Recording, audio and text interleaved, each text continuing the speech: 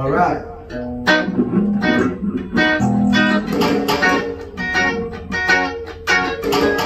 I can make it be finally. These songs is getting all of you. Happy birthday.